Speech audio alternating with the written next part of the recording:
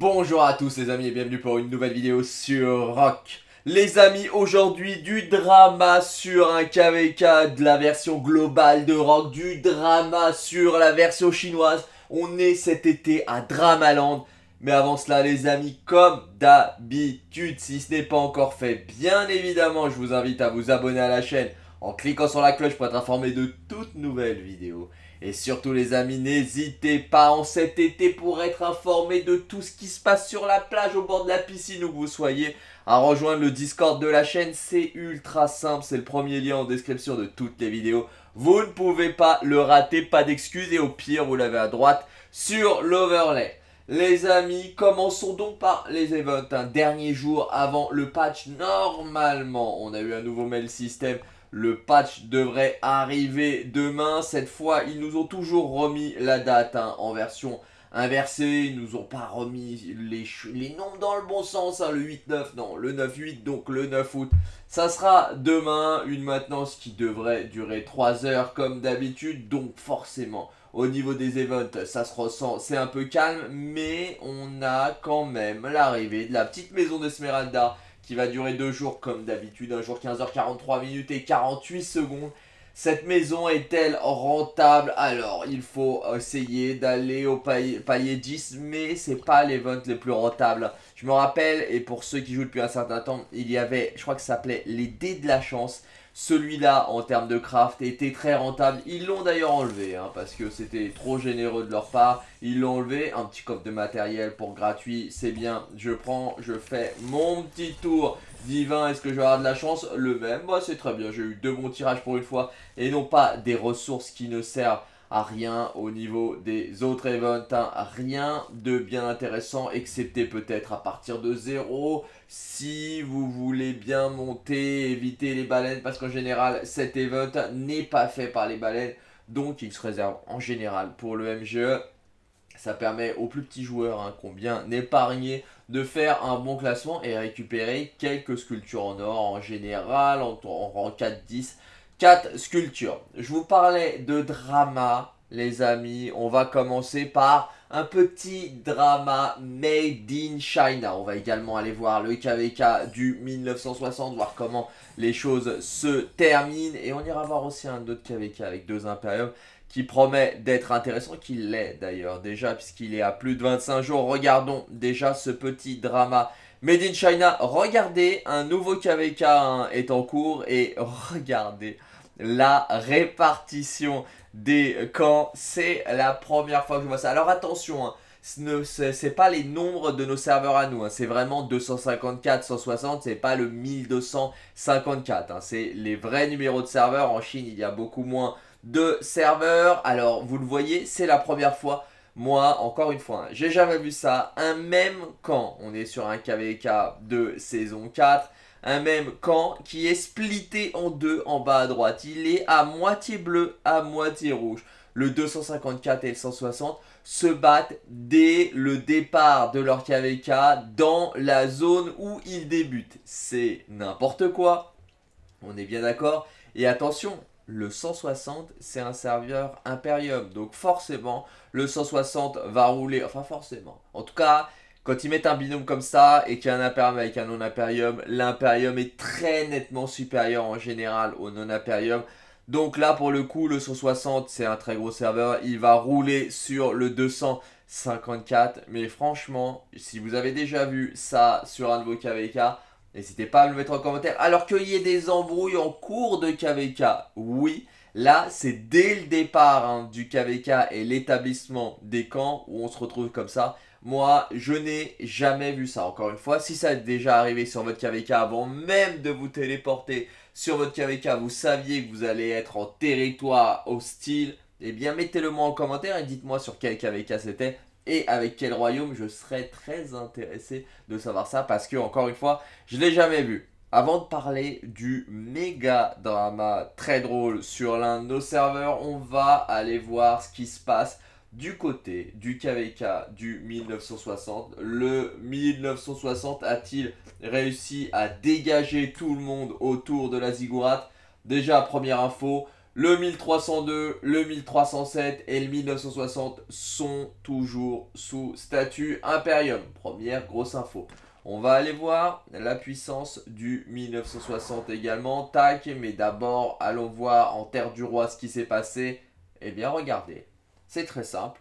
Il n'y a plus que du rouge en Terre du Roi. Je vous le rappelle, les rouges, c'est le 1960. Hein. Leurs alliés sont en mauve, les Ducks hein, sur le côté, Song, HB. Donc ils ont aussi leur côté. Ils ont même pris la porte de niveau 7. Hein. Et là, ça déroule, ça doit brûler. Par exemple, ici, si on va voir, voilà, bah, ça brûle plus, ça s'est éteint, mais ça a bien brûlé. Ah si, c'est peut-être euh, un petit bug. Si, ça brûle, ça mettait du temps à s'afficher. Ça déroule. Sur ce côté-là, ils vont aller prendre tous les bâtiments. Pareil, oh le 1960, eux, ils vont encore plus vite. Hein. Ils ont déjà pris un sanctuaire ici, le sanctuaire, le lieu saint qui donne de la vitesse de marche. Hein. Donc ils l'ont bien déroulé et ça déroule dans tous les sens. Il reste peut-être une forteresse qui ne brûle pas encore tout à fait. Si elle brûle, mais elle n'est pas finie encore ici. Sinon, c'est terminé. Est-ce que ça craque de ce côté-là, du côté des forteresses? Ouais, il laisse brûler. Le 1307 hein, et le 1008 a totalement... Là, ils ont même... Ah non, je croyais qu'ils avaient enlevé les forteresses. Hein, mais si, si, si, ils ont enlevé les forteresses. Le... Donc, ah, elles étaient en train d'être détruites. Je me rappelle, elles étaient sur la fin. Le 1307, donc, est son allié, le 1008, ont abandonné ou ont lâché l'affaire. Et c'est fini pour eux. C'est dommage parce qu'il va falloir qu'ils sortent du statut Imperium, donc ils auraient mieux fait de se battre encore. Et qui, du coup, a eu la Ziggurat Forcément, le 1960, champion incontesté, champion invaincu. Allons voir tout ça. 1960, ils n'ont pas encore mis à jour. Hein. KVK All Seven Season Victory. Ils n'ont pas mis encore qu'ils ont gagné les 8 et au niveau de la puissance. Regardez. 16,4 milliards et 8 milliards pour les 60 MX. Donc les 60 MX ont perdu 2 milliards de puissance. Les 60 euh, GT, eux, ont perdu presque 7 milliards de puissance. Ça fait beaucoup hein, quand même, 7 milliards de puissance, hein. ça reste énorme, il doit y avoir beaucoup de joueurs qui sont encore hein, au niveau, est-ce que je peux aller voir les 60 GT, les membres de l'Alliance, des mecs qui restent très hauts, mais ils ont bien bien chuté. Regardez, alors lui par exemple, c'est un monstre, hein, je ne sais pas comment on traduit son nom, mais en puissance c'est un monstre, en récompense c'est un, en ressources c'est un monstre aussi, un 102 millions de morts, ça reste très très propre, même si on a déjà vu plus, par exemple, je crois que Gouverneur a plus, 239 millions, il a bien bien plus, vous voyez, le mec, il est monté à 823 millions de puissance et actuellement, sa puissance est de 162 millions.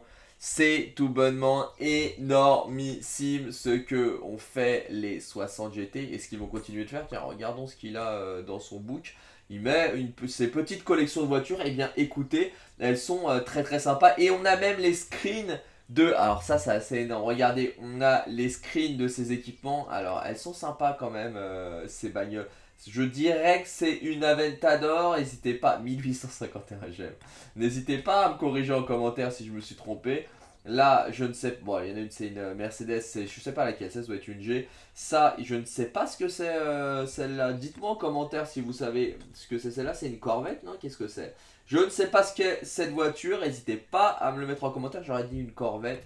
Euh, je dirais une Corvette ou une, McLaren. Bref, euh, pour les experts, mettez-le en commentaire combien de j'aime sur celle-là. 1310. Bon, la Lamborghini, je crois encore une fois que c'est la Ventador. Elle remporte la palme. C'est très sympa, hein. je pense que c'est chez un concessionnaire là, mais c'est peut-être euh, lui qui est le proprio de la concession. En tout cas, très très propre. Et regardez donc ces équipements. Alors là, ça brûle tout bonnement les yeux. Le mec a mis les screens de ces équipements. Je le sais que c'est ces équipements parce que le screen est déjà passé sur le Facebook off. Regardez son set. Son Xianyu, le truc déjà, il est full et il est au max. Alors moi, j'aurais pas mis ce casque encore une fois. J'aurais mis le casque de KVK de saison, celui qu'il a mis sur Chandra. Je l'aurais mis sur Xianyu aussi. Et euh, tout. Ah, si, si, regardez, presque tout est critique hein, sur son Xianyu, excepté, excepté les bijoux et euh, le. Ben non, c'est tout, excepté les bijoux. Donc tout est critique, tout simplement, parce que les bijoux, euh, on ne peut pas. Donc si on peut, mais il les a pas critiques. Donc tout est critique sauf les bijoux.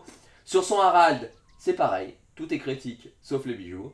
Sur son Trajan en support, tout est critique sauf les bottes et les bijoux sur son Edouard, et le casque aussi, sur son Edouard. Alors Edouard il sert à rien, mais pourtant lui il l'a max. Hein. Donc là il n'a pas critique euh, sur son Edouard, il n'a pas fait cette bêtise. Nabucodonosor, mais son stuff il est tout simplement oufissime. Sur son Guan, pareil. Chandra, pareil. Amanitor, pareil. Et regardez, on a même un deuxième screen de ses équipements et ses sets parce qu'on n'a pas eu l'occasion de tout voir probablement c'est assez ouf. Normalement, d'après ce qui se dit, c'est le joueur avec le meilleur stuff du jeu. C'est ce qui se dit. Et j'ai jamais vu de screen plus haut niveau que ça. On a même son taux de ressources en haut. Alors, il n'est pas énorme en ressources quand on compare à notre ami Léopard, je sais pas comment il s'appelle, celui qui est le tête de Léopard, où lui il a plus de 100 milliards de chacune des ressources. Je vous montrerai un screen à l'occasion mais c'est quand même très très propre. Et pour finir, un petit screen où il nous montre le VIP, il a euh, eu plus de enfin, 66 millions de gemmes, 3 millions de barbares, enfin c'est assez énorme toutes ces stats, et il a, il a 116 millions, 116 milliards de ressources hein, pour augmenter la puissance consommée, bref, des stats de dingue, des stats de mec qui a beaucoup, beaucoup, beaucoup trop d'argent pour une seule personne. Encore une fois, on est à la recherche de qu'est-ce que c'est que cette voiture, le petit jeu de l'été. Voilà pour gouverneur, hein, c'est très très propre. On va continuer donc à présent et parler drama, parce que je sais que vous aimez ça. Le 1960, ils ont gagné, ils ont éclaté tout le monde. Le petit drama vient du 1412 et de son KVK easy peasy. Son KVK jeu d'enfant. Le 1412 est parti sur un KVK ultra simple. Ils l'ont annoncé avant 12 jours, 8 heures, 26 minutes et 42 secondes. Ils l'ont dit, ça ne sont pas cachés. On veut un KVK de repos, on veut se reposer, on est fatigué, on veut se préparer avant un gros KVK après, parce qu'en plus on a eu beaucoup de migrants. Du coup, on va faire un KVK facile, on s'inscrit comme ça en scred et on tombe contre des royaumes moins forts que nous. Eh bien, ils ont été servis, ils sont contre des royaumes moins forts que. Il faut. Il faut savoir que, justement, les autres voulaient faire un 3 versus 1 et tout le monde semblait être d'accord, un 3 camps contre 1 mais ce qui aurait rendu la tâche un peu plus difficile pour le 1412, mais il aurait pu gagner en 3 contre 1. Mais regardez ce petit mail qui est tombé, le petit drama des familles. Le camp vent en bas à droite. Hein. donc euh, il les insulte copieusement. Le camp vent qui avait accepté durant la diplomatie d'être à 3 contre 1 contre le camp feu. Je vous laisse lire, hein. c'est très sympa ce screen, vous pouvez le retrouver sur le Discord. Ils disent pendant qu'on était durant, ils disent pendant qu'ils étaient durant le procès, tout était d'accord, tout le monde était ok. Mais euh, finalement, le camp vent s'est dit, ben non, en fait, euh, nous, on ne va pas faire d'alliance avec la terre et l'eau, et on va s'allier avec le feu. Ils ont changé d'avis, ils ont droit. Du coup, euh, le camp vent et le, camp eau et le camp terre sont un petit peu en colère. Ils sont euh, pas très contents et donc ils ne vont pas sortir du tout du côté du camp feu à l'ouverture des portes de niveau 4. Et les deux vont sortir full du côté du camp vent. Leur objectif va être d'enfermer le camp vent en seconde zone. Pareil, enfermer aussi le camp vent chez eux et ils ont décidé, c'est ce qui a été écrit, hein, puisque le 1412 veut un KVK facile, on va leur donner un KVK facile, ils n'auront aucun combat avant les terres du roi.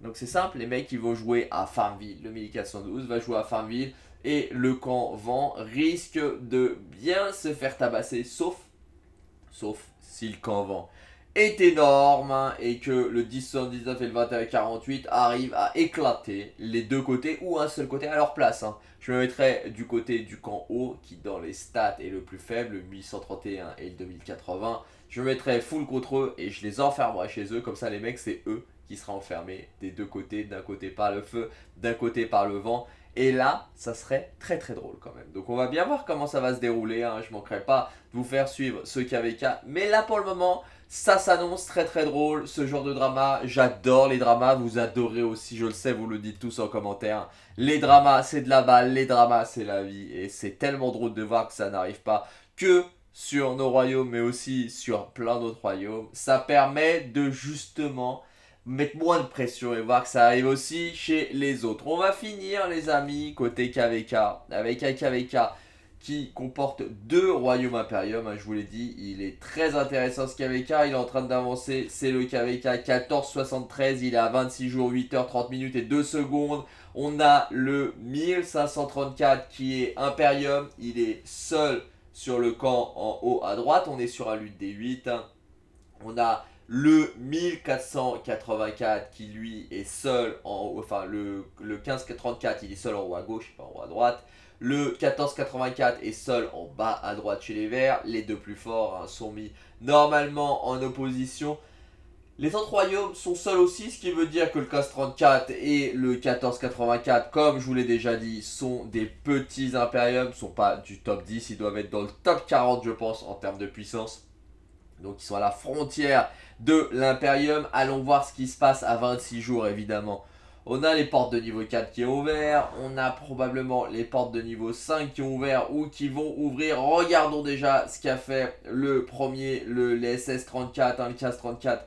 Ils sont sortis sur leur côté tranquillement. Ils ont été jusqu'à la porte de leurs adversaires. Ils les ont enfermés. Il n'y a pas de tentative de sortie. Ça ne touche même pas. De ce côté-là, le 34, le feu, est tranquille. Au sud, pareil. Ils sont sortis, ils ont été enfermés leurs adversaires, ils sont détendus de ce côté-là. Après, c'est après que ça peut se corser justement avec l'ouverture en Brookton. Eh bien, le 34 en Brookton est sorti tranquillement. Il a pris toute la zone et avec son allié en haut à droite, ils ont totalement enfermé. Est-ce que c'est son allié? Non, c'est pas son allié non plus. Non, non, donc ils sont sortis tout seuls, SS-34. Ils ont été en sac à cas et ils ont enfermé L'allié en hein, les Sin, les Six, les SF3, 9 pour les sûrs, ils les ont totalement enfermés. Et qu'est-ce qu'ils ont fait en Shiki? En Shiki, pareil, hein, ils sont sortis, ils sont redescendus, sauf que du côté Shiki, eh bien, ils sont avec un allié en Lucerne, donc ils sont détendus. Donc en gros, hein, le 1534 à la moitié de la carte à lui tout seul. De l'autre côté, le second Imperium en Tahiti. Qu'est-ce qu'il a fait lui? Il est sorti également. Eh bien non, ça a été plus chaud hein, pour lui. Hein. Il a enfermé Andy Bronco son adversaire. Mais là, il a affaire aux signes qui sont passés. Qui sont, regardez, ils sont passés par Brookton. Ils ont pris la première porte de niveau 5. Hein. Ils sont repassés là. Et ça s'est bien barricadé de ce côté-là. Mais ça doit brûler parce que sur l'autre porte, ça... Non, non, ça brûle pas. Je dis une bêtise. Sur l'autre porte, ça veut dire que sur l'autre porte, ça n'a pas craqué. J'ai eu l'impression que ça n'avait pas tenu là. Pourtant, si, regardez, ah non, c'est eux qui sont passés. En, euh, donc sur cette zone en Passuruan, c'est pareil, hein, c'est très tendu, un gros fight en Passuruan. Ils ne tiennent pas la porte et il y a encore euh, du fight euh, en cours. Ça tient bien, en tout cas en face, c'est l'adversaire, ça bloque bien. Est-ce que... Pourquoi il y a un gros 1 Tiens d'ailleurs, j'ai jamais fait attention. Pourquoi on a un gros 1 ici? Qu'est-ce que c'est que ce 1 Qu'est-ce que c'est que... Ah, ils ont fait un 1 avec un drapeau, les mecs. La classe. Alors là, chapeau, les mecs, ils ont réussi à faire un 1 avec un drapeau. Je me demandais ce que c'était. Bref, en tout cas, là, ça tient, ça tient, mais ça brûle. Donc ça va peut-être pas tenir très longtemps. Ils ont réussi à mettre un drapeau. Et eh bien, en tout cas, le 1534 hein, a l'air de rouler sur tout le monde et de dominer tout le monde. Je ne sais pas combien. Normalement, c'est un 4 versus 4. Très impressionnant le 1534, il fait une grosse, très grosse démonstration de force. On va aller voir leur coalition principale, celle en SS34. Là, ça leur paraît acquis. Ils devraient gagner ce KV4. 13 milliards, 6, 10 milliards, 7, 6 milliards 9 et 6 milliards. Ils sont bien, bien euh, descendus en puissance. Ils se sont bien battus, les mecs. Et ça a l'air de payer. puisque là, ils ont la domination totale pour le moment sur leur KVK. Ils vont pouvoir se préparer tranquillement hein, aux prochaines ouvertures de portes qui devraient être normalement les terres du roi. Alors c'est pas pour tout de suite, c'est pour dans une semaine. ils ont une semaine pour se préparer, mais là les mecs sont détentes. Hein. Regardez, il n'y a que de ce côté-là où ils ont essayé de barricader une forteresse. Sinon, de tous les côtés, ils sont détentes. Le 15-34 et leurs alliés devraient arriver tranquillement en terre du roi. Voilà écoutez les amis c'est tout pour cette vidéo, j'espère qu'elle vous aura plu, si c'est le cas les amis comme d'habitude n'hésitez pas à lâcher un colossal pouce bleu, vous le savez les amis ça me fait très plaisir et ça aide énormément le développement de la chaîne. N'oubliez pas, demain, jour de patch, donc euh, n'essayez pas de jouer entre 8h et 11h, puisque le patch devrait durer normalement 3 h sauf s'il est décalé dans la journée, c'est possible, Lilith l'a déjà fait. Si cette vidéo vous a plu les amis, comme d'habitude, n'hésitez pas à lâcher un colossal pouce bleu. Vous le savez les amis, ça me fait vraiment très plaisir et ça aide énormément le développement de la chaîne. Si ce n'est pas encore fait, qu'attendez-vous Qu'attendez-vous pour vous abonner à la chaîne en cliquant sur la cloche pour être informé de toutes nouvelles vidéos. Vous souhaite un bon jeu à tous, prenez soin de vous, faites bien attention à vous les amis. Et je vous dis à plus sur Rock